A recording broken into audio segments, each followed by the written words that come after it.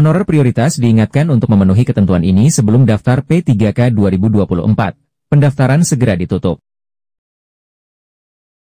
Pendaftaran pegawai pemerintah dengan perjanjian kerja untuk tahun anggaran 2024 akan segera ditutup untuk periode pertama. Pendaftaran P3K 2024 dibagi menjadi dua periode untuk tenaga honorer. Sedangkan periode kedua dimulai pada 17 November hingga 31 Desember 2024. Bagi para guru honorer, Inilah saat yang tepat untuk mengubah status Anda menjadi aparatur sipil negara dengan mendaftar pada seleksi P3K 2024. Kesempatan besar untuk diangkat menjadi ASN melalui P3K 2024 terbuka lebar bagi guru-guru honorer di seluruh Indonesia. Namun, sebelum mendaftar, ada beberapa hal penting yang harus diperhatikan, terutama bagi pelamar prioritas. Terdapat sejumlah ketentuan yang harus dipatuhi oleh para guru honorer, termasuk mereka yang masuk kategori pelamar prioritas, dalam mengikuti seleksi P3K 2024. Dengan memenuhi syarat-syarat ini, peluang besar untuk lolos dalam seleksi P3K 2024 semakin dekat. Lantas, apa saja ketentuan yang harus dipenuhi oleh para guru honorer prioritas? Di bawah ini adalah ketentuan yang perlu dipenuhi, antaranya 1.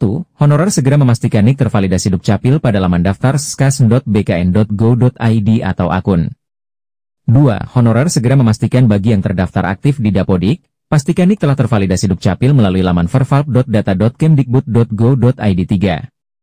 Honorer harus memiliki ijazah S1 atau D4 telah tervalidasi melalui laman info.gtk.kemdikbud.go.id.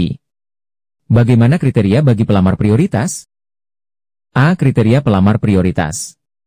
Pelamar prioritas adalah guru yang telah memenuhi nilai ambang batas pada seleksi P3K Jabatan Fungsional Guru tahun 2021, namun belum dinyatakan lulus pada tahap tersebut. Penerimaan seleksi akan dimulai pada 1 hingga 20 Oktober 2024. B. Dokumen wajib yang harus diunggah. Untuk memastikan kelancaran pendaftaran, pelamar diwajibkan mengunggah dokumen sesuai kategori tempat mengajar masing-masing. Satu guru yang aktif mengajar di sekolah negeri lampirkan surat keterangan aktif mengajar dari sekolah induk yang telah ditandatangani oleh kepala sekolah. 2. Guru yang aktif mengajar di sekolah swasta, Non-instansi pemerintah unggah surat izin mengikuti seleksi P3K guru yang dikeluarkan oleh Ketua Yayasan Sekolah tempat Anda mengajar. 3. Pelamar yang tidak terdata aktif dalam Dapodik pastikan Anda melampirkan surat izin resmi dari Kepala Dinas Pendidikan instansi pemerintah yang dituju sebagai syarat mengikuti seleksi P3K guru. Perhatikan dengan saksama agar setiap dokumen yang diperlukan diunggah dengan benar dan sesuai ketentuan yang berlaku. Hal ini penting untuk menghindari kendala dalam proses seleksi. Untuk mengetahui update berita terbaru terkait tenaga honorer, jangan lupa untuk terus ikuti perkembangannya dalam channel ini.